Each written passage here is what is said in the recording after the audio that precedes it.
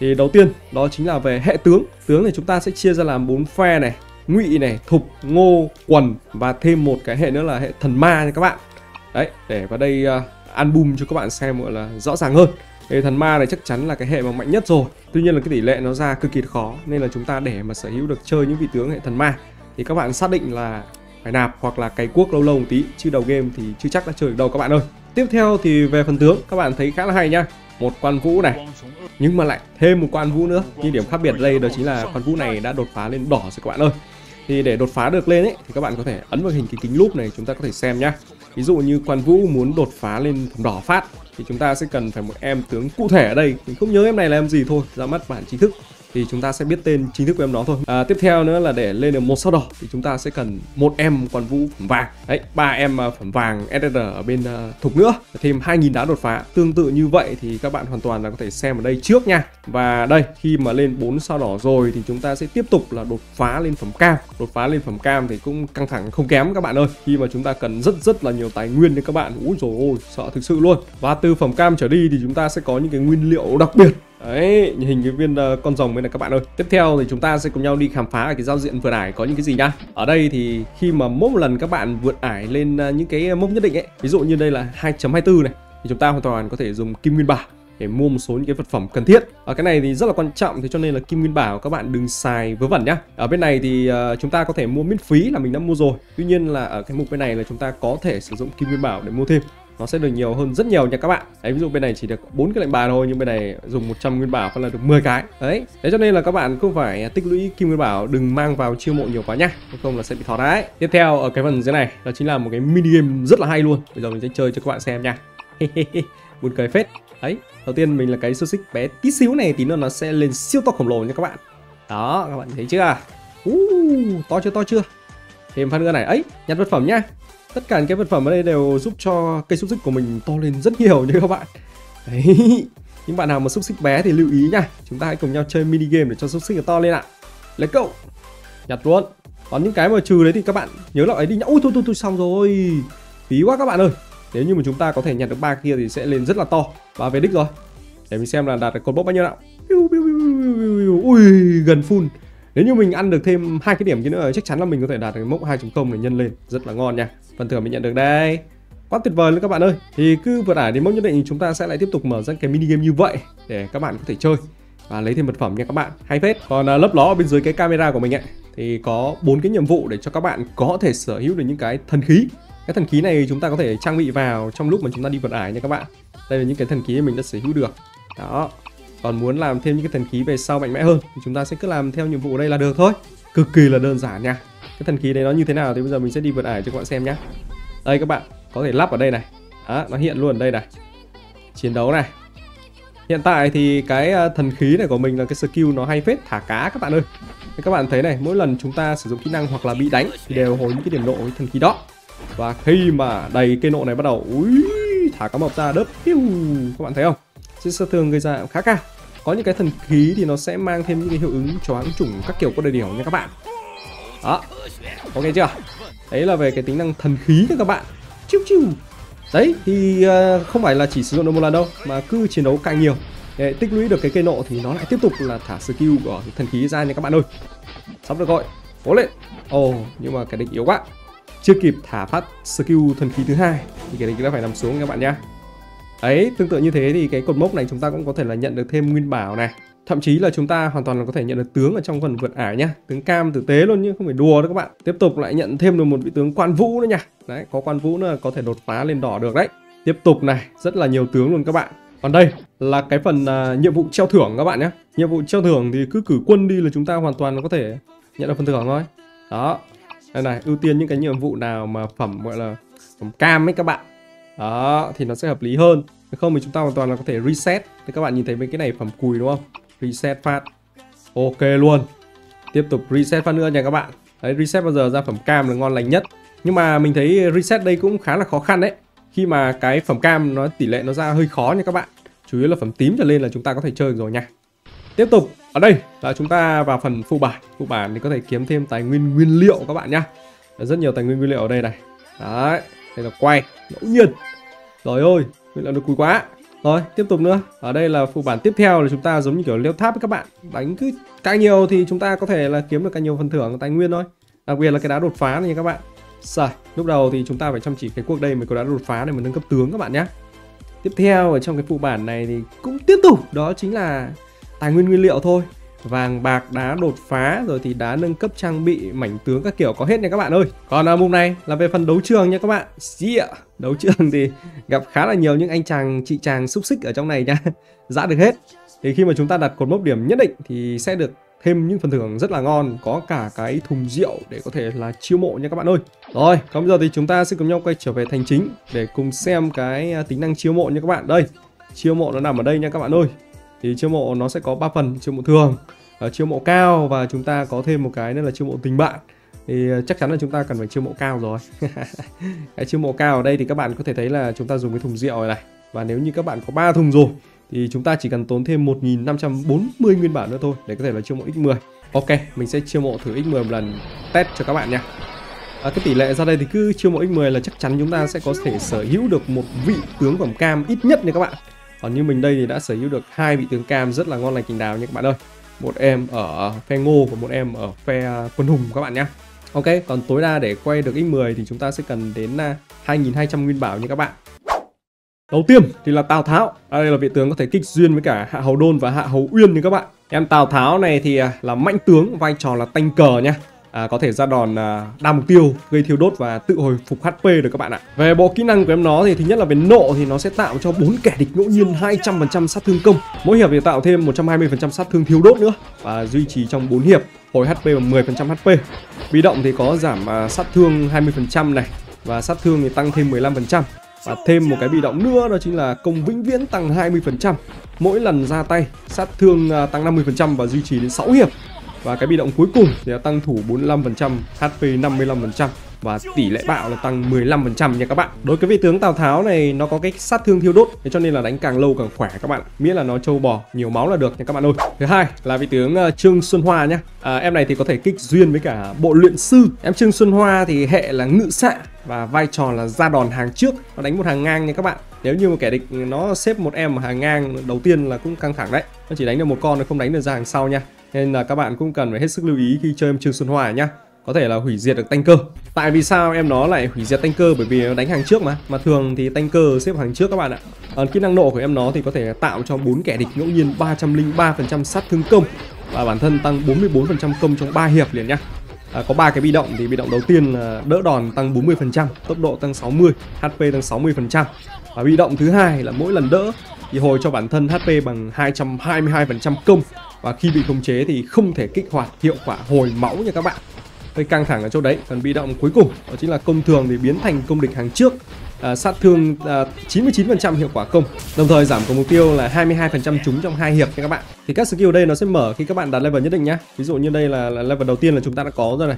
Đây lên tầm level 30 50 gì đó là mở này 80 đến 100 đấy theo thứ tự như vậy nha các bạn ơi. Thì khi mà mở được cái bị động này rồi, nó đánh à, thường nó cũng đánh cả một hàng rất là ngon nha các bạn. Vị tướng thứ ba là tuân úc.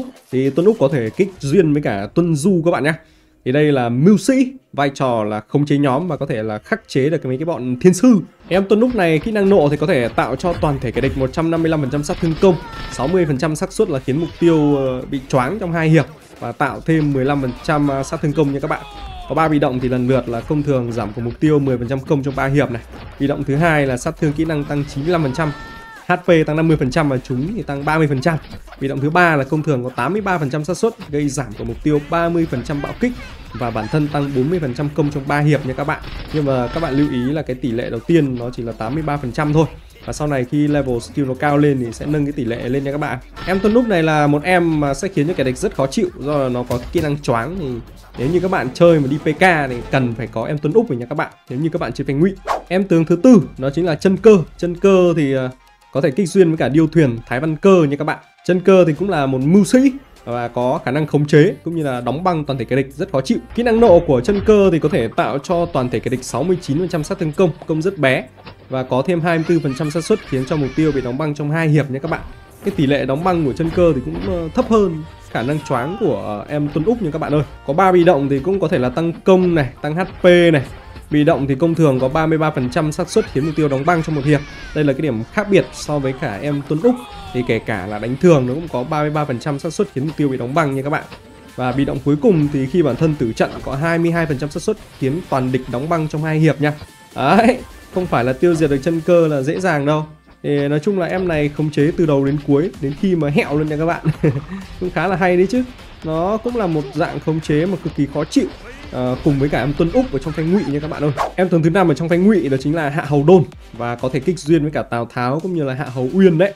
Thế đây là một uh, tanker à, ra đòn có thể gây chóa hàng sau nha các bạn. Kỹ năng nộ của em uh, Hạ Hầu Đôn này thì tạo cho hàng sau kẻ địch 138% sát thương, có 33% xác suất khiến mục tiêu bị chói trong hai hiệp các bạn ơi.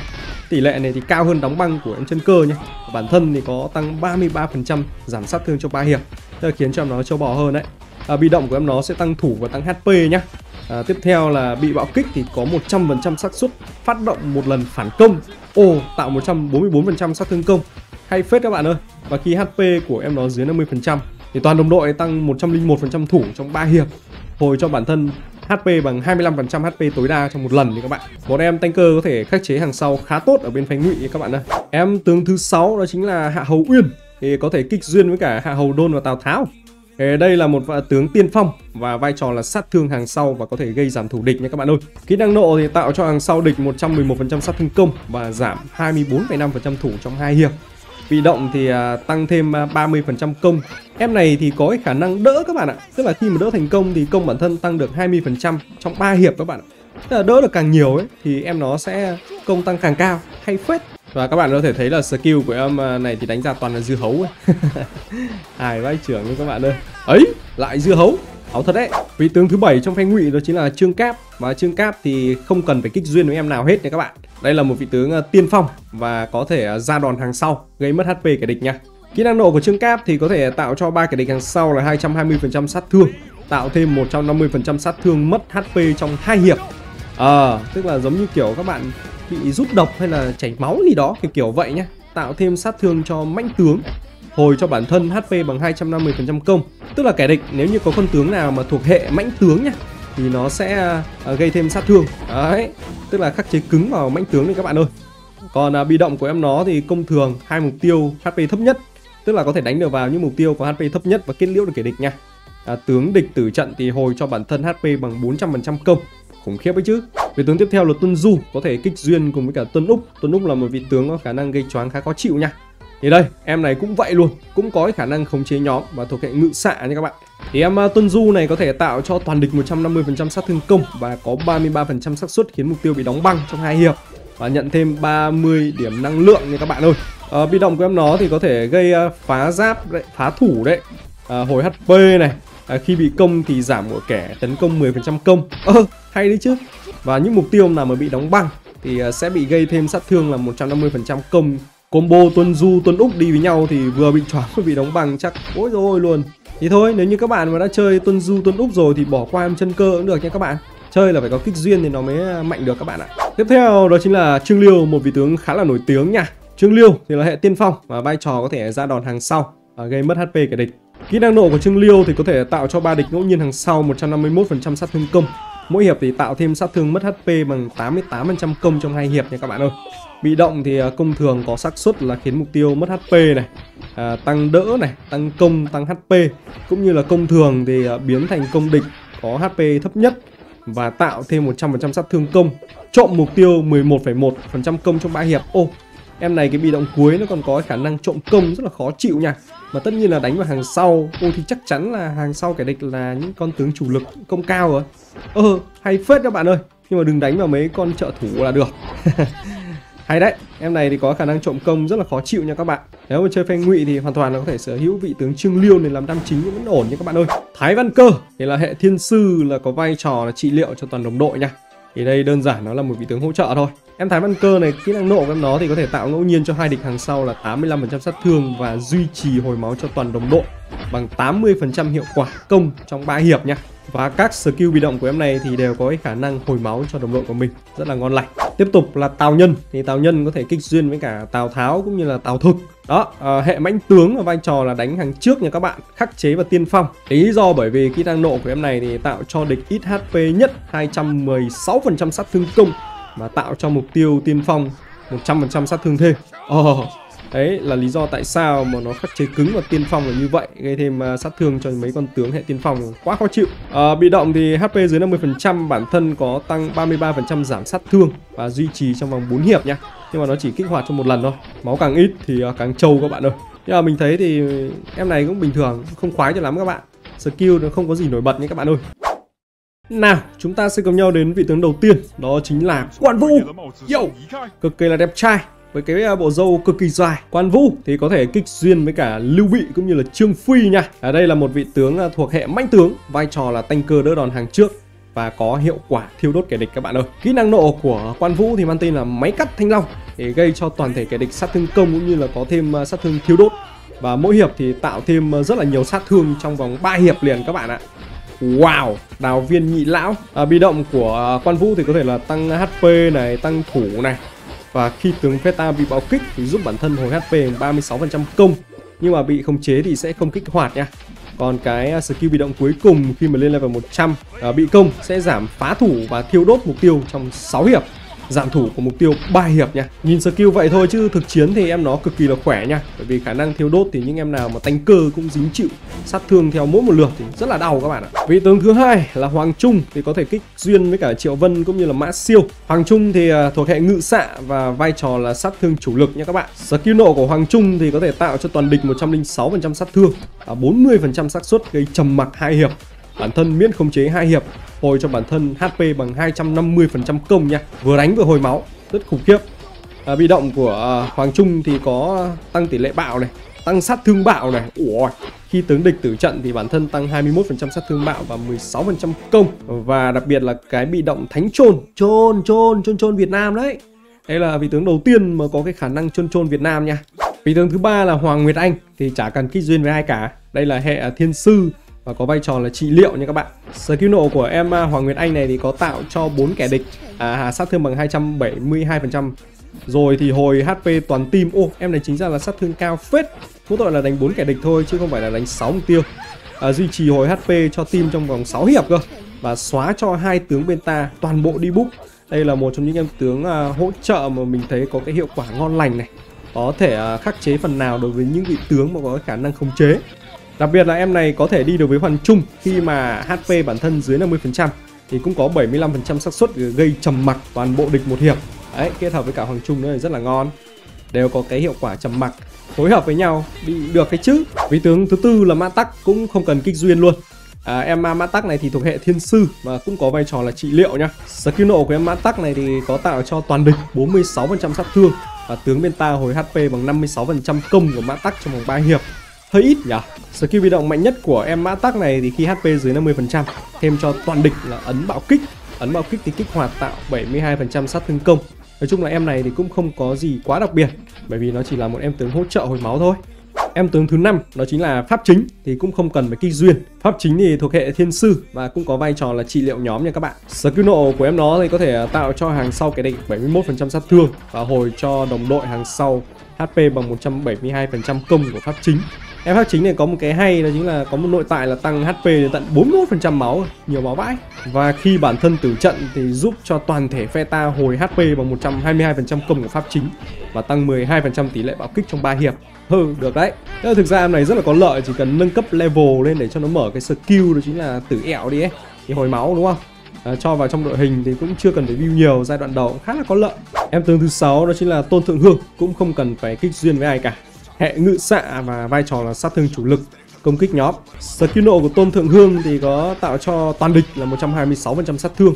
Mục tiêu sẽ bị giảm 5% tốc cũng như là sẽ bị trúng độc. Mỗi hiệp thì tạo thêm 54% sát thương trong 3 hiệp nha. Wow, khá là thốn này. Độc rồi thì lại cộng với cả thiêu đốt nữa thì cũng căng thẳng đấy. Nhờ, cao thủ võ lâm là cái bị động đầu tiên. Sát thương bạo tăng 40% công tăng 32% ủa, em này đúng là một trong những em sát thương chủ lực nhé các bạn những cái skill bị động đây tăng rất là nhiều sát thương cũng như là bạo kích này. À, bạo kích lại còn có 100% xác suất khiến mục tiêu trúng độc nha. Wow!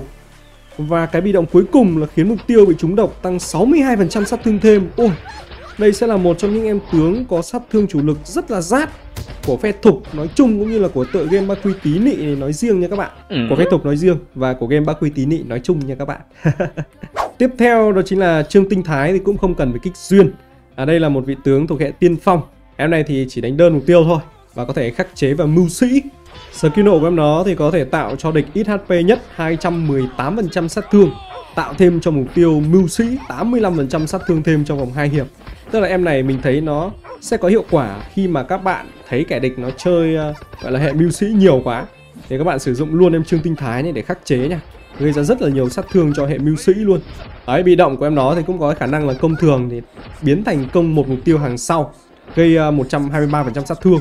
Công thường lại còn có cái khả năng là trộm nộ của mục tiêu nữa cơ. Ơ, hay này, mà mưu sĩ mà không có nộ để sử dụng skill thì đúng là thôi, phế vật luôn. Em này khắc chế cứng là mưu sĩ luôn các bạn. Rồi, tiếp theo là trương phi. Đấy, kích duyên cùng với cả lưu bị và quan vũ nha các bạn hệ mãnh tướng vai trò là tanh cơ siêu cứng luôn. Để xem siêu cứng cỡ nào nha. Cho các bạn xem về hiệu ứng skill này. Em này thì có khả năng nộ là tạo toàn thể kẻ địch 188% sát thương và hút 34% thủ của mục tiêu trong hai hiệp. Uầy, tự hồi HP bản thân bằng 158% công trong 6 hiệp luôn. Chất chơi. À em này có cái bi động hay này. Khi mà bị tấn công ấy thì sẽ giảm 16% công 25% bạo kích của kẻ địch.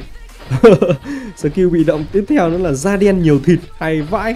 HP tăng 45% giảm sát thương tăng 26% ủa, trầu thật. Khi bị địch công có 100% phản công lại, tạo 201% sát thương. Ui Trương Phi là một vị tướng tanh cơ mà mình thấy là khá là hay nha các bạn. Cực kỳ ngon lành cành đào luôn. Trời ơi, tanh cơ siêu cứng nó khác. Được đấy. Tiếp theo là vị tướng mã siêu nha. Mã siêu thì có thể kích duyên với cả triệu vân cũng như là hoàng trung ở đây là hệ tiên phong vai trò là kích sát hàng sau khắc chế và mưu sĩ luôn các bạn. Ái chà chà, cũng khắc chế mưu sĩ luôn nha. Thì bởi vì uh, kỹ năng nộ của em nó có tạo cho kẻ địch hàng sau 215% sát thương Bản thân tăng 10% công và 10% sát thương bạn.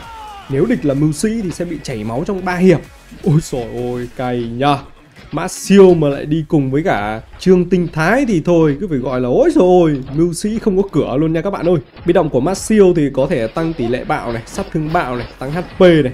Công thường thì chuyển thành công hai tướng địch ít HP nhất Và tạo 122% sát thương Giảm của mục tiêu 30% công nữa. À, Đặc biệt là cái uh, skill bị động thứ ba là công thường 100% khiến mục tiêu chảy máu trong hai hiệp. Mỗi lần công thì bản thân tăng 10% công và 15% sát thương bạo. Uh man Ngon đấy chứ. Phi tướng thứ 10 đó chính là Lưu Bị Thì có thể kích duyên với cả quan vũ cũng như là Trương Phi. Đây là hệ mưu sĩ và có vai trò là khống chế hàng sau kẻ địch nha. Có thể trị liệu cho cả đồng minh nữa. Kỹ năng nộ của Lưu Bị tạo cho hàng sau kẻ địch 125% sát thương công Và có 50% xác suất khiến mục tiêu loại ngự xạ choáng hai hiệp. À khắc chế và ngự xạ đây. Được đấy Công thường thì tạo cho hai địch 112% sát thương Và 16% xác suất khiến mục tiêu bị choáng này. Ờ được cái chứ nhở? À, bị động thứ hai thì có tăng tỷ lệ bạo này tăng công tăng hp và bị động cuối cùng thì khi tướng địch tử vong đơn vị hp thấp nhất bên ta hồi hp ở 12,5% hp tối đa nói chung là vừa có choáng vừa có hồi máu sẽ là một em tướng khá là đa dụng khi mà đi chiến đấu như là đi vượt ải nha các bạn vị tướng đầu tiên là tôn sách nhá thì không cần kích duyên đây là hệ tiên phong, vai trò là khống chế và gây sát thương cho hàng sau của địch. Kỹ năng nộ là tạo cho hai địch hàng sau 221% sát thương. Mỗi hiệp thì địch mất HP duy trì 6 hiệp và 65% choáng địch trong hai hiệp nha. Bản thân thì giảm 65% sát thương trong hai hiệp. Bị động của em tôn sách này thì có tăng thủ này, Ờ, tăng HP. Mục tiêu thì có 60% ờ, bị gây choáng hai hiệp và 100% mục tiêu là bị mất HP luôn cơ. Căng phết khi HP dưới 60% là khiến hai kẻ địch ngẫu nhiên hàng sau mất HP. Mỗi hiệp tạo là 190% sát thương, duy trì trong 4 hiệp nha. Đấy là cái nội tại bị mất HP. Cay cú phết. Em ờ, tôn sách này thì có cơ chế đánh gần giống quan vũ Đó chính là có cái hiệu ứng kiểu như là thiếu đốt các bạn. Em tướng thứ hai là Tiểu Kiều thì có thể kích duyên cùng với cả Đại Kiều nha. Đây là một vị tướng ờ, thuộc ngự xạ và có đam ờ, AOE. Kỹ năng nộ của Tiểu Kiều thì tạo cho kẻ địch hàng trước là 141% sát thương công và trúng độc. Mỗi hiệp tạo thêm 60% sát thương công trong hai hiệp. Bị động là tăng công, tăng HP này. Công thường thì có 36% xác suất là khiến mục tiêu bị trúng độc luôn và một cái bị động nữa đó chính là khi bị công thì có 80% xác suất khiến mục tiêu bị trúng độc. Tất cả những cái skill của em này thì đều có thể khiến cho kẻ địch bị trúng độc nha. Thì cũng sẽ bị rút máu qua từng hiệp, rất là khó chịu luôn. Tiểu kèo này hình như là giống hoàng trung ấy, cũng có khả năng gây trúng độc. Ghê, ngoại hình thì dùng toàn pháo là pháo rồi các bạn. Vị tướng thứ ba ở phe Ngô đó chính là Cam Ninh, thì cũng không cần kích duyên với cả vị tướng nào hết. Ở đây là một à, vị tướng thuộc hệ mãnh tướng và có vai trò là ra đòn hàng trước gây sát thương theo phần trăm máu nha. Kỹ năng nộ của Cam Ninh là tạo cho kẻ địch hàng trước 200% sát thương. Ô, sát thương to đấy các bạn ạ. Và thêm sát thương bằng 20% HP tối đa. Đồng thời bản thân tăng 15% công và 15% phá thủ nha. Ô em này diệt à, tanker khá ổn đấy các bạn. Bị động của em nó thì à, công thường uh, thì sẽ công hai mục tiêu thôi. Và nếu mục tiêu đang bị thiêu đốt thì 70% khiến mục tiêu bị choáng trong hai hiệp. uh, bị động nữa là tăng HP tăng công và sát thương tăng lên 40% và trong chiến đấu bản thân tăng 10% phá thủ, bạo kích cũng như là sát thương bạn. Hay phết các bạn ơi, em này thì là một trong những em tướng mà có thể uh, tiêu diệt được tanh cơ hàng trước rất ổn các bạn ạ. Khá là bất ngờ vị tướng Cam Ninh này nha các bạn. Vị tướng thứ tư đó chính là Thái Sử Từ các bạn nhé. Ai trời, tạo hình giống là một cướp biển các bạn ơi. Thì em này không cần kích duyên và đây là một hệ mãnh tướng, vai trò là ra đòn hàng trước gây sát thương theo phần trăm máu. Ủa, gần giống với cả em Cam Ninh luôn các bạn ơi. Tuy nhiên thì em này có khác một chút đó chính là tạo cho địch hàng sau cơ. Sát thương 120% và có 33% khiến mục tiêu bị choáng. Ồ, oh, hay phết nhở và có 50% thêm cho mục tiêu một chú bằng 246% sát thương. Ui, nhiều đấy. Cái tỷ lệ này nó mà cao lên một tí nữa là em này cũng khủng khiếp ấy chứ. Bị động là tăng thủ tăng HP. À, bị bạo kích thì có 100% xác suất phát động một lần phản công. Ồ, oh, hay nhỉ? À, đây là khắc chế vào những em nào mà có cái tỷ lệ bạo kích cao. HP bản thân dưới 75% thì giảm sát thương bản thân à, tăng 47% trong 3 hiệp. Ồ, oh, khá là châu bò. Ờ, được đấy. Tiếp theo đó chính là Chu Du thì có thể kích duyên cùng với cả Gia Cát Lượng nha. Tạo hình làm cái quả truyền nước trong áo Macarada thực sự luôn. Đây là hệ tiên phong và có vai trò là giao đòn kết liễu. Bản thân thì có khả năng là miễn tử. Uh, Nghe vẻ là hấp dẫn này các bạn để mình xem à, skill nộ là cái gì đây? Tạo cho hai địch hàng sau 192% sát thương Và hồi HP bằng 150% công. Hút của mục tiêu 31% công trong 3 hiệp. Wow! Bản thân tăng 42% sát thương, Bạo trong 3 hiệp nha. Bị động thì có à, tăng công này, Có tăng tỷ lệ bạo và HP cũng tăng luôn. Khi tướng địch bị tử vong thì hút sức mạnh của chúng Và tăng 32% công cho bản thân. Wow Bản thân lần đầu chịu sát thương chí tử là miễn tử HP giữ ở mức 20%. Wow, ngon lành nha. Em Chuju này sẽ là một trong những em tướng mà không thể thiếu được nếu như các bạn chơi ở bên phe ngô nha. Bị động nữa là công thường biến thành công địch HP ít nhất tạo 132% sát thương công và hồi HP bằng 80% công. Em này vừa đánh này vừa hồi phục lại có khả năng miễn tử. Ô oh, mén. Được quá các bạn ơi. Em tướng thứ sáu đó chính là bộ luyện sư, không cần kích duyên. Đây là hệ thiên sư và có khả năng tự trị liệu cũng như là tanh cơ luôn. Kỹ năng nộ của bộ luyện sư thì tạo cho địch ít HP nhất 172% sát thương công. Hồi đồng đội HP thấp nhất. Đấy, 402% công. Ủa, vãi. Cái này hồi khi đầy cây máu luôn nhỉ? Nhưng mà chỉ hồi được một mục tiêu. Đấy là cái điểm yếu. À, bị động là công thường có 52% xác suất thêm cơ hội sống cho đồng đội, giúp đồng đội HP ít nhất hồi HP bằng 151% công của bộ luyện sư. Và khi bị công 100% xác suất giúp bản thân hồi HP bằng 57% công. Wow, khi bị khống chế thì kích hoạt hiệu quả hồi máu. Được quá nhỉ. Bị động là công tăng 26% công và HP tăng 19%. Đây là một em tướng mà có khả năng hồi phục rất mạnh Tuy nhiên là hồi phục chủ yếu là đơn mục tiêu các bạn nhé. Em tướng thứ bảy thì đó chính là Đại Kiều có thể kích duyên cùng với cả Tiểu Kiều để tăng công và sát thương bạo nha. Còn là em này thì là ngự xạ rồi, Có đam toàn thể kẻ địch luôn các bạn. Đam AOE đó. Em Tiểu Kiều này khi nộ thì sẽ tạo cho toàn địch 92% sát thương công. Ô, hơi bé nha. Nhưng mà có kem thêm trúng độc các bạn ạ. Kết hợp với Tiểu Kiều là ok. Mỗi hiệp tạo thêm 30% sát thương công Và giảm của mục tiêu 19% bạo kích trong 3 hiệp. Em này thì mình thấy uh, nếu như mà làm đam phụ cho Tiểu Kiều là hợp lý hơn Bởi vì nó có cái khả năng trúng độc chứ còn công gây ra thì không được nhiều.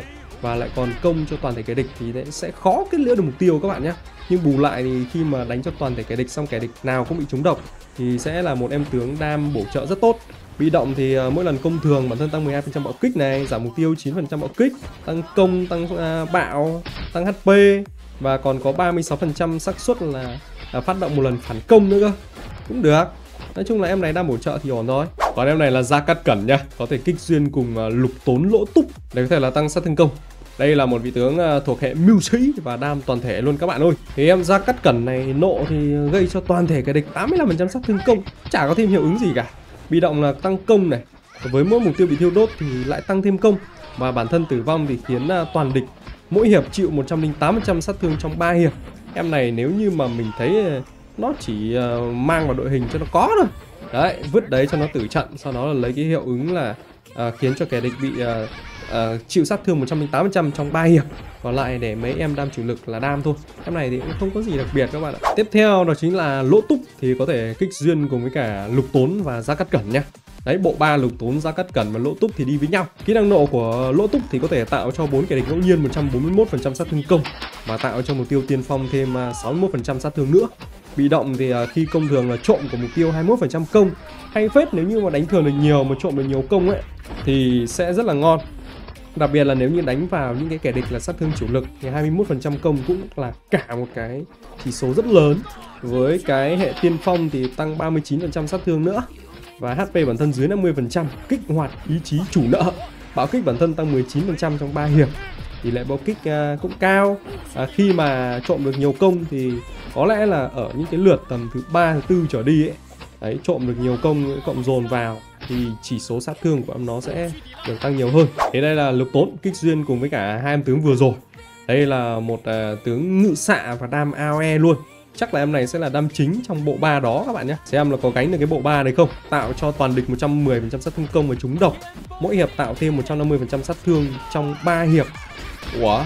Skill này có khả năng trúng độc thì đi cùng với cả tiểu kiều đại kiều thì nó lại là hợp lý hơn chứ ta.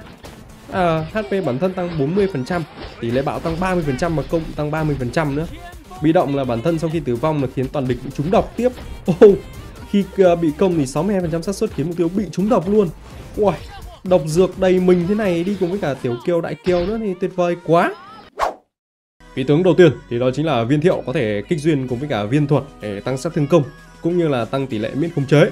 Đây là một vị tướng à, thuộc hệ mãnh tướng và có thể sát thương đơn mục tiêu các bạn ạ. Viên thiệu thì kỹ năng nộ của nó có thể gây à, cho kẻ địch ít HP nhất 350% sát thương công. Wow, một âm tướng có thể kết liễu mục tiêu cực kỳ khủng khiếp khi mà cái à, chỉ số sát thương của em nó lên đến 350% sát thương về lết thì chắc chắn là chúng ta sẽ cần những em tướng có khả năng kết liễu cao như thế này nha hồi cho bản thân HP bằng 300% công. Ủa và có 50% xác suất tạo 524% sát thương công. Ôi chính ra là em viên thiệu này sẽ là một trong những em gọi là sát thủ luôn. Khủng khiếp thực sự luôn các bạn. Yahoo! Em tướng thứ hai đó chính là điêu thuyền thì có thể kích duyên cùng với cả thái văn cơ chân cơ nha. À, em này thì là hệ ngự xạ và đam toàn thể kẻ địch luôn. Rồi để xem quả skill chiêu thức của em điêu thuyền này như thế nào nhá em này thì à, tạo cho toàn thể kẻ địch 160% sát thương và có 60% tỷ lệ là khiến mục tiêu loại tiên phong choáng hai hiệp ồ oh men, khắc chế và tiên phong à. Công thường thì cũng có 77% xác suất khiến mục tiêu bị choáng luôn. Và với mục tiêu bị choáng thì tăng thêm 128% sát thương nữa và tăng thêm phá thủ 40% tăng công và tăng HP em này sẽ là một em à, vừa đam mà lại có cả khống chế đấy các bạn Ồ, oh, choáng trước khá là khó chịu nha các bạn ơi. Ấy giời choáng tiếp đi. Ui giời ơi choáng liên tục luôn các bạn, tỷ lệ rất cao nha. Uh quan vũ biết phải nằm xuống luôn các bạn ơi. Em tướng thứ ba đó chính là cao thuận và không cần kích duyên. Em này thì hệ tiên phong và đam toàn thể luôn các bạn kỹ năng nổ của cao thuận này tạo cho bốn kẻ địch ngẫu nhiên là 185% sát thương công. Với à, mục tiêu mưu sĩ thì có 100% xác suất bị choáng. Ủa phải quần hùng này có cái à, khả năng bị choáng nhiều thực sự luôn. Tướng nào từ nãy giờ mình thấy có choáng luôn á. Tăng thêm phá thủ này, tăng công này công thường biến thành công hai tướng địch ít HP nhất. Sát thương 133% hiệu quả công thủ mục tiêu giảm 22% thủ nữa. Bị động là HP dưới 80% bản thân thì tăng 42% phá thủ. Đây là một em tướng ờ, hệ tiên phong, tuy nhiên là có khả năng gây choáng bổ trợ rất tốt nha các bạn. Với châu bò một có choáng nữa thì rất là ngon luôn rồi. Cái con hùng này mạnh như chứ. Tiếp theo đó chính là độc hoa đà, có thể kết hợp với cả thần tả từ để tăng ờ, tỷ lệ đỡ đòn nha. Ở đây là tướng ờ, hệ thiên sư có búp cho cả đồng đội luôn các bạn được phết xem kỹ năng búp của em này như thế nào nào. Em này thì à, có tạo cho toàn kẻ địch 100% sát thương công thêm cho toàn thể đồng đội lá chắn bằng 20% HP hiện tại của Hoa Đà. Wow, ngon nha, lần đầu tiên thấy có một em tướng là búp cho đồng đội khiên. Hợp lý đấy. Mỗi lần công thường là phóng trạng thái thu nhỏ địch. Hay thế. Rồi, mỗi lần ra đòn bản thân thì tăng 50 điểm tốc độ trong hai hiệp. HP vĩnh viễn tăng 40% Khi HP dưới 60% nha. Ô, đồng đội bên ta tăng 45% thủ trong 3 hiệp. Wow! Các bạn có thể nhìn thấy là em ờ, đọc hoa đà này đang ờ, biến cho kẻ địch bên kia bé tí tì tì luôn. Ảo ma Canada thực sự. Được đấy. Em này hay. Hay còn hùng, nhiều tướng có skill xịn này các bạn. Vị tướng tiếp theo đó chính là Dương Tu. Cái đây là thuộc hệ mãnh tướng và có nam toàn thể kẻ địch các bạn nhé này em dương tu cưỡi con gà trông còn cơ bắp hơn nữa nhưng mà ông này lại là đầu bếp các bạn. Kỹ năng nộ là tạo cho toàn địch 150% sát thương công và tạo sát thương thiêu đốt bằng 55 lực công trong 3 hiệp. À, tướng địch tử trận thì bản thân tăng 15% sát thương và 15% sát thương kỹ năng cộng thêm. Hmm, skill không thấy mấy hay nhỉ? HP tăng 30% rồi thì tăng công tăng bạo tăng tỷ lệ bạo mỗi khi bắt đầu hiệp đấu tạo cho toàn địch sát thương thiêu đốt bằng 24% lực công ồ em này mình đọc skill thì lấy thấy nó bình thường chứ không quá gọi là mạnh mẽ. Nhưng mà đánh về lâu về dài thì chủ yếu đánh bằng cái hiệu quả thiêu đốt. Máu càng trâu thì đánh càng lâu thì à, rồi thì hồi máu nhiều ấy thì kẻ địch sẽ bị dần dần bị thiêu đốt chết thôi. Tiếp theo là mã đằng thì ờ, không cần kích duyên. Đây là một hệ mãnh tướng và có cái vai trò đó chính là tanh cơ để xem mã đằng này tanh cơ kiểu gì nào kỹ năng nộ của em nó thì tạo cho hàng sau cái địch 220% sát thương công. Ô, thế là sát thương cũng cao đấy. 40% xác suất đóng băng trong hai hiệp. Hay quá, hiệu quả đóng băng tuyệt vời. Thôi cho bản thân HP bằng 588% công kiếp. Ôi, nhiều máu thế. Rồi thì bị động của em nó có tăng thủ này, tăng trúng nữa nha. Bị động nữa là tăng ờ, đỡ đòn này. À tướng địch mà đỡ đòn thì hấp thu HP địch luôn. Giúp bản thân ờ, hồi HP bằng 100% công. Mỗi lần công thường thì hồi cho bản thân HP 111% công khả năng hồi phục rất tốt. Đây sẽ là một trong những em tướng thủ cực kỳ khó chịu sống dai như đỉa ở bên phe quần hùng các bạn nhé. Tiếp theo là trần cung thì có thể kích duyên cùng với cả ma giả hủ để tăng tốc độ. À, em này thì à, là hệ thiên sư và có khả năng búp nhóm kỹ năng nộ của trần cung thì tạo cho hàng trước kẻ địch 147% sát thương công và có 40% xác suất là đóng băng. Ô à, kết hợp cùng, cùng với cả em vừa rồi là khả năng đóng băng rất tốt này các bạn.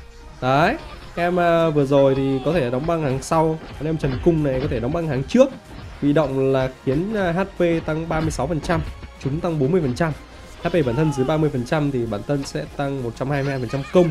Công thường thì có 100% xác suất khiến một đồng đội ngẫu nhiên hồi hp ủa em này búp tốt phết nhở? Khả năng khống chế khó chịu kết hợp với cả uh, búp hồi máu được ghê các bạn. Yo đây là trương bảo nha. Có thể kích duyên cùng với cả trương giác uh, trương lương nữa à, tăng tỷ lệ đỡ và sát thương công.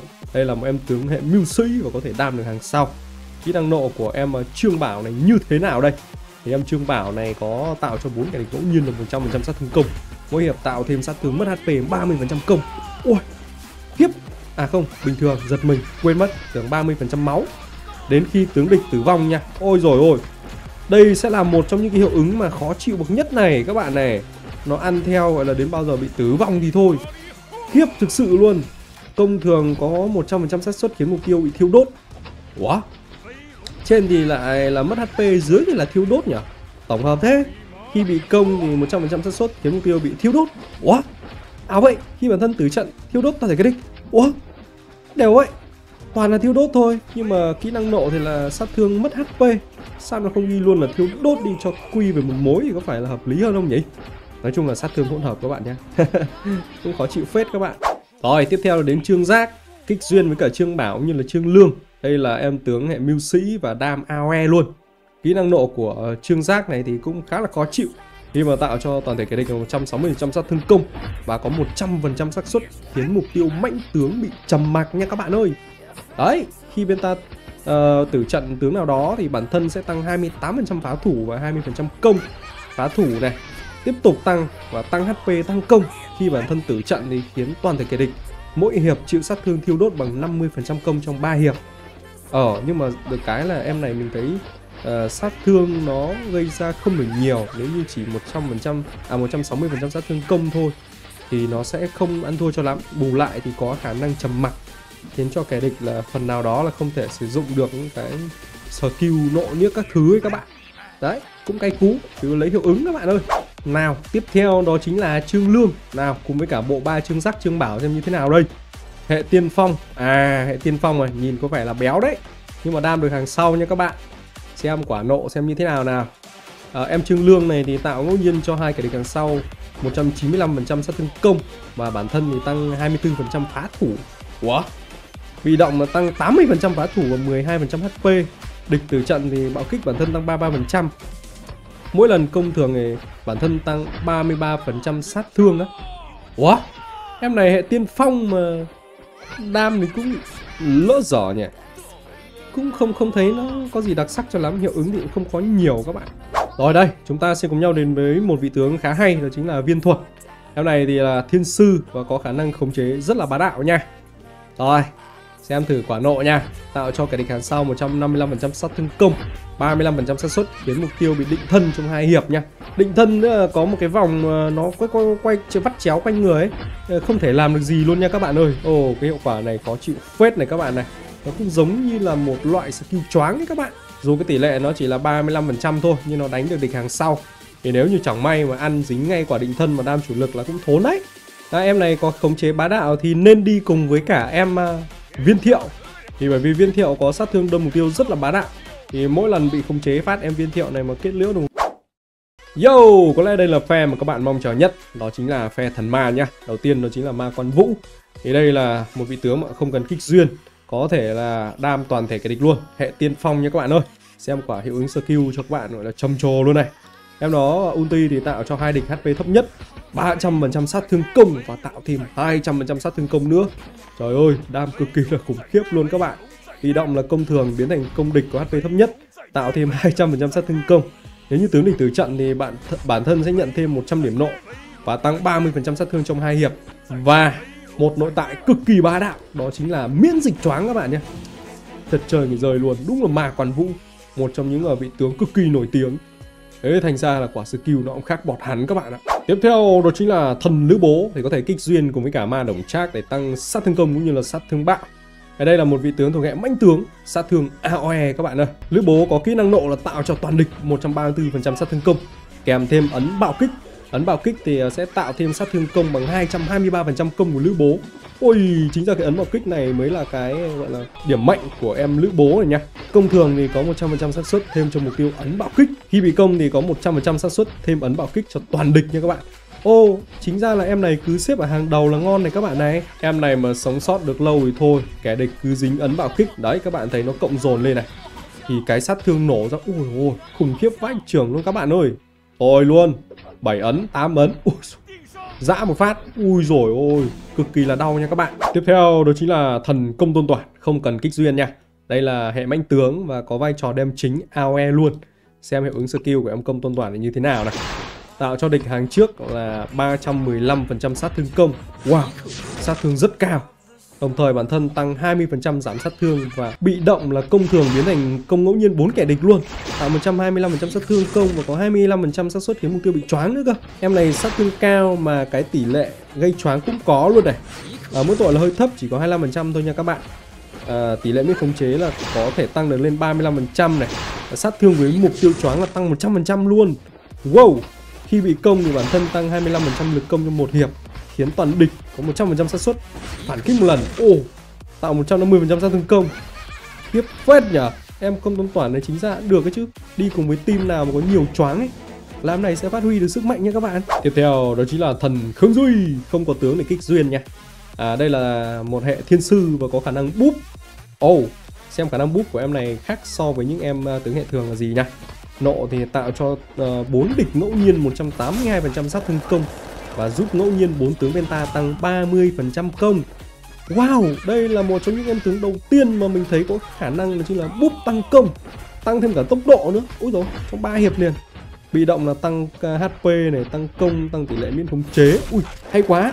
Búp là rất cần cái tỷ lệ miễn khống chế nha các bạn Để có thể là spam skill được nhiều Búp cho đồng đội nha u ngon Mỗi lần ra tay lập tức hồi cho ba tướng ít HP nhất Beta bằng 400% công Khiếp nhiều vậy sau khi tử vong là hồi toàn tướng Beta Ủa Phai trưởng HP bằng 400% công nữa. Ôi dồi ôi, em Phương Duy này búp đỉnh thực sự. Đúng là một em tướng ở bên này. Thần ma.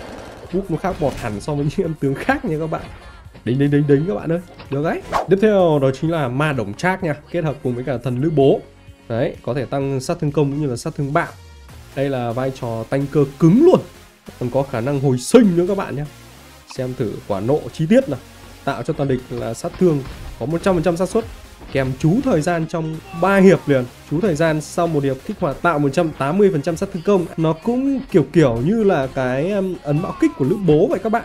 Bị động nữa là có khả năng hồi sinh, sau khi hồi sinh các bản thân hồi 90% HP thôi. Chất thật, nhưng mà không biết là hồi mấy lần trong một trận đấu đây còn đây là ma giả hủ nha, có thể kích hoạt cùng với cả chấn cung để tăng tốc độ. Đây là tướng là thuộc hệ mưu sĩ và có vai trò khống chế cứng luôn khống chế cứng như thế nào nào? Khống chế cứng là tạo cho toàn địch 95% sát thương công sát thương cực bé. Và bản thân 30% giảm sát thương. À, thế lại trâu bò hơn à? Công thường thì có xác suất khiến mục tiêu bị định thân. À hay nhỉ sát thương kỹ năng tăng 100% ồ oh, ủa mặc dù sát thương tạo ra thì ít nhưng mà lại có bị động để tăng thêm sát thương lên. HP tăng 70%, tốc độ tăng 60%. Khi bị công có 55% xác suất tăng cho bản thân 63% lực công trong hai hiệp. Ủa, em này nói là không chế cứng nhưng mà cái uh, tỷ lệ uh, nó không chế chỉ có 56% thôi. À không, nhưng 56% mà đánh toàn thể kẻ địch cũng là một cái gì đấy cực kỳ thốn đấy các bạn ạ. Ừ, đánh 6 con mà, một cái tỷ lệ của nó 56% thì có khi là thôi thôi thôi một phát là khi ba bốn đứa bị choáng liền luôn đi các bạn ảo thật đấy tiếp theo là ma lý túc trông mặt đẻo thực sự luôn đây là một hệ mưu sĩ và khống chế hàng sau. Nãy giờ mấy em tướng khống chế đấy. Xem này có khống chế gì khác cái định thân không? À, khống chế đây là có 32% xác suất khiến mục tiêu bị choáng trong hai hiệp các bạn nhé. Và tạo cho bốn địch ngẫu nhiên thôi chứ không phải là đánh à, cả 6 kẻ địch nha các bạn. Khi bị công thì bản thân tăng à, à, 15% sát thương tạo ra cho kẻ địch. Mỗi lần công thường, bản thân tăng 46% sát thương tạo cho địch và 7% sát thương trong 3 hiệp, công tăng 31%. Ồ, oh, em này thì cũng bình thường nha các bạn. Mình đánh giá em này thì cái tỷ lệ choáng nó cũng không được cao. Em giả hủ thì cái tỷ lệ định thân cho kẻ địch là tận 56% mà đánh toàn thể kẻ địch cơ. Rồi, một em tướng mà mình rất là mong chờ đó chính là ma tư mã ý nhá. Thuộc phe thần ma. Đây là hệ mưu sĩ và sát thương đơn thể nha các bạn. Đấy, các bạn lưu ý là sát thương đơn thể nha thì à, bởi vì sao những em sát thương đơn thể thì có lợi về sau cực kỳ luôn khả năng kết liễu mục tiêu rất tốt tạo cho ngẫu nhiên hai kẻ địch 460% sát thương công. Trời ơi quá cao. Nếu mục tiêu là hàng trước thì giảm 75% giáp trong 3 hiệp. Vai cái trưởng luôn đánh uh, gọi là tanh cơ cũng được luôn. Wow, chém sắt như chém bùn. HP tăng 40%, giảm sát thương tăng 30%, tăng thêm cả tốc độ, tỷ lệ biên khống tăng 100% một trong những em tướng cực kỳ mạnh nha các bạn tư mã ý. Công thường biến thành công địch uh, có chiến lược cao nhất ôi rồi ôi tuyệt vời quá. Ờ nhưng mà nếu như mà mình mạnh hơn kẻ địch thì thành ra là lỗ. Nhưng mà mình ờ, mà lại yếu hơn kẻ địch thì thành ra là lãi. Đó là như vậy nha. Khi trên trận có tướng tử vong mỗi hiệp tạo cho toàn địch sát thương mất hp bằng 250% công luôn. Quá khủng khiếp đối với em ma tư mã ý một trong những em tướng mình cực kỳ yêu thích trong tựa game này nha các bạn. Tiếp theo đó chính là thần bóng đèn, à nhầm, thần giá cát lượng nha. Có thể kích duyên cùng cả Chu Du. Thì đây là một em tướng ờ, thuộc hệ thiên sư và có khả năng búp rất khủng khiếp. Em này thì nó búp hay phết các bạn ạ. Đây, tạo cho toàn địch 159% sát thương công hồi cho ba đồng đội. Ít HP nhất, khoảng 300% công của giá cát lượng nha. À, Mỗi lần công thường thì hồi tiếp tục cho bản thân là rất nhiều máu. Bị động là tăng à, sát thương này, tăng công, tăng HP, tăng tỷ lệ bạo. Và một bị động cuối cùng là khi bị công thì bản thân hồi HP bằng 42% công hay vết, nói chung là có khả năng hồi HP thôi. Skill thì ờ, có vẻ là bình thường, chỉ là hồi máu thôi. Nhưng vào trận chiến thì nó sẽ cực kỳ là khác bọt. Đấy. Bởi vì là đi PK rồi đi vượt ải các thứ, nếu như không có tướng hồi phục máu thì rất là bất lợi nha các bạn ơi. Tiếp theo, đó chính là thần quách gia nha. Đây là hệ ngự xạ và sát thương bạo phát các bạn nhé xem em sát thương em này như thế nào nào, có bằng tư mã ý hay không? Tạo cho toàn địch 115% ờ, sát thương công và mỗi hiệp tạo thêm 90% sát thương trúng độc nữa ồ lại có sát thương trúng độc hả? Và bản thân tăng 50% sát thương kỹ cho kỹ năng trong 3 hiệp. À em này thì có khả năng là tăng sát thương kỹ năng lên nha. Ồ tức là sát thương đánh thường nó khác với cả sát thương kỹ năng. Sát thương kỹ năng nó giống như là sát thương thương nộ ấy các bạn. Tăng thêm rất là nhiều sát thương. Ờ, cộng dồn cả bị động này.